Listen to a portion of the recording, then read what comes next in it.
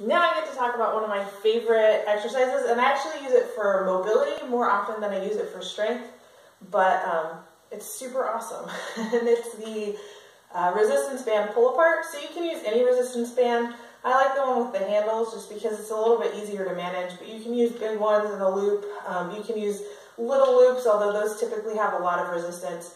Um, I've done it before where I've looped two loops together and used those, so just kind of whatever you have. Um, because the movement's going to be out like this instead of up away from gravity, you do need to have a resistance band in order to get anything out of it. Just doing the movement is a good way to feel what it should feel like, but it's not going to give you a lot of uh, strength, I guess. So you're going to extend your arms out in front of you like a zombie and grab the resistance band wherever you need to. So the very first one that you do is going to be kind of a test to see how much resistance you need. Um, and so I typically, with this resistance band, because I use it a lot, know that I want to hold my arms or my hands at shoulder width apart, and that's where I'm going to get the best resistance for me.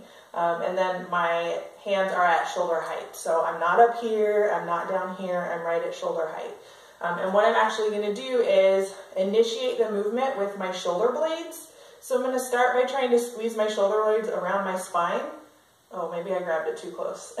squeeze my shoulder blades around my spine and then bring my arms out until the resistance band just touches my chest and then slowly bring it back and then do it again.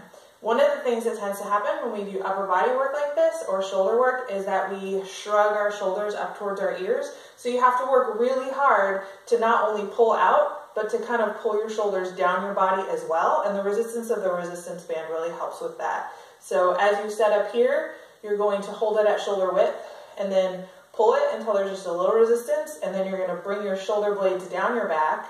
And then you're going to initiate the squeeze around your spine. Okay, so that is the resistance band pull apart, and it's one of my favorites. If you have shoulder problems, this is a really, really good one to start with. Um, just make sure that you start with light resistance. All right, have fun, get cracking.